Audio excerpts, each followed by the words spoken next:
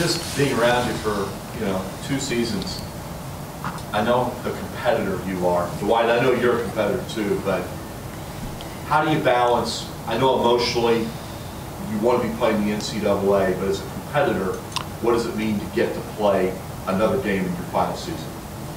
I mean, I'm just excited to be back in Diddle. You know, I didn't had no clue I'd get to play another game here, and um, so I mean, I'm really excited just to be playing more basketball. Really, um, you know, the ultimate goal was to reverse that score by two points and thus win the game by one. But you know, things happened and wasn't the plan for us. But um, just to be able to play in the NIT, you know, and if you see that NIT field, it's uh, it's pretty competitive. Um, so even to be get invited that, I think you know what are there 100 teams that you know between the NIT and the NCAA tournament. Um, and there are 360 or 20, I don't know how many teams there are in the whole NCAA. So it's a it's a pretty big deal um, to still get to play. And like I said, I'm just excited to play more basketball. And um, I, was, I, was, talking to someone and I sent them a text and they asked me like how you how you feel about it or whatever. And I said anytime I put a jersey on and lace my shoes up and playing basketball, I'm gonna compete like it's the last one. So I mean,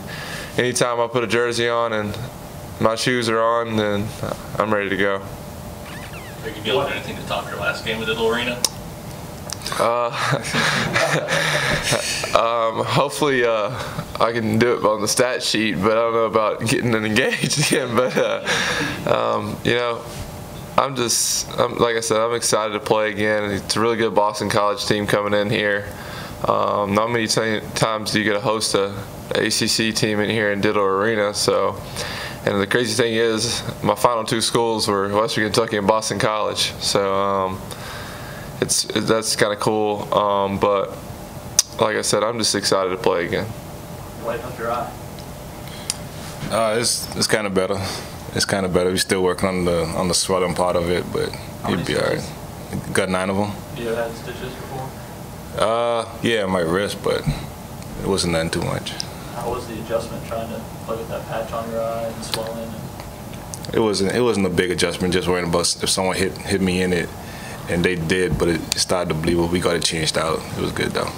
What's a you guys pretty loose? I guess going into this thing. Just I mean, um, just kind of a, a loose, kind of fun feel about going into this tournament. Yeah, you know, you always want to want to go to the goals, go to the tournament and all that. But since we got a chance to play in the NIT and, and, and be back in Diddle, I think it's a great opportunity for us to to really prove ourselves and try to make it to Madison Square Garden. Yeah, Justin, how, the fact that if you win some games, you can go play at Madison Square Garden, how much of that is kind of a, a reward waiting at the end of the tunnel for you all?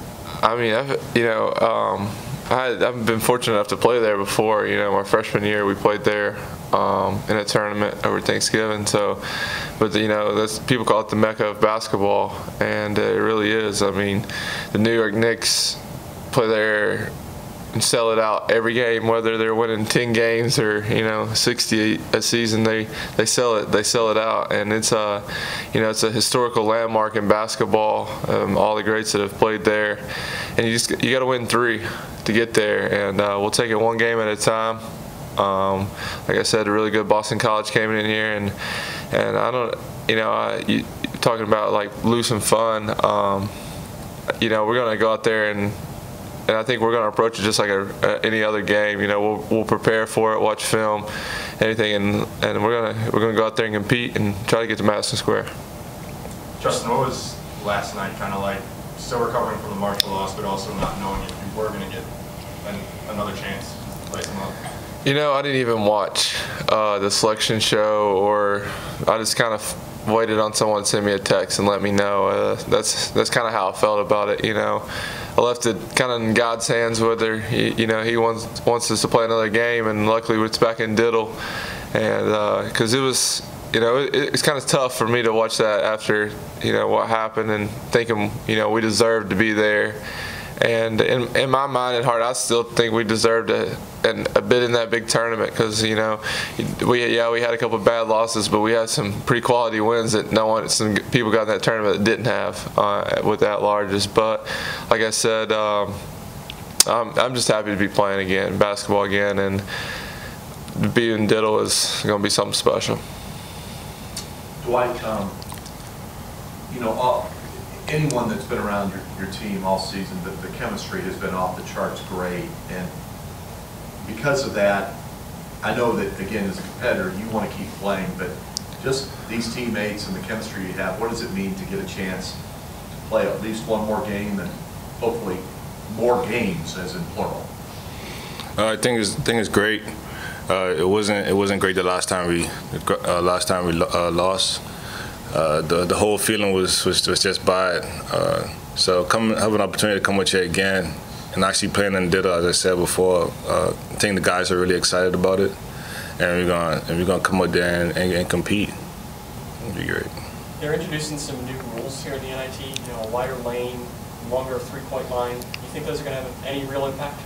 I, I really don't. I mean, I, I, saw the rules. Um, most time when you get an offensive rebound, you let it, you, sh- you shoot it pretty quick again with that 20, changing the 20 second shot clock. And they've kind of, you know, that hasn't been really an effect for us because, you know, we kind of play pretty fast.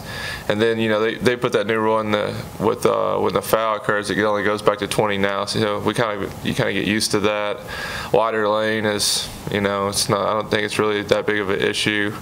Um, three point line, uh, it's not, I mean, it's not even that, what is it, 14 inches or something like that? What is it?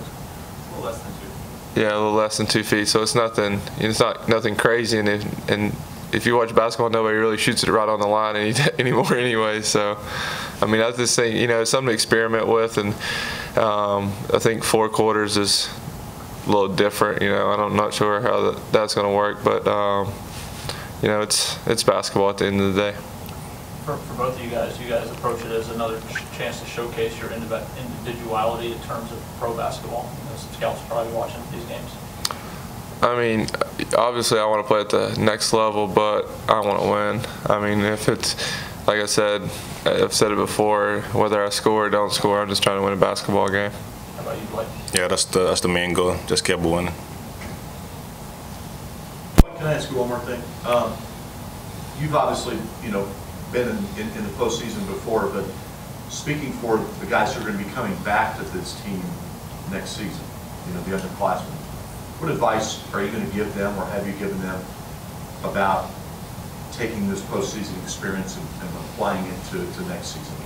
I mean, as I've been saying to the young guys uh, all year, just just them taking in how to how to how to lead their other teammates because you can have freshmen coming in next year and they got to be the upperclassmen even though they're they still gonna be young, and tell them that they gotta um, take it how take it how it is like how we lost just just take it in feel it. And, and know what you need to do for next year to make it to this this, level and make it to the NCAA tournament. So uh, that's just about it.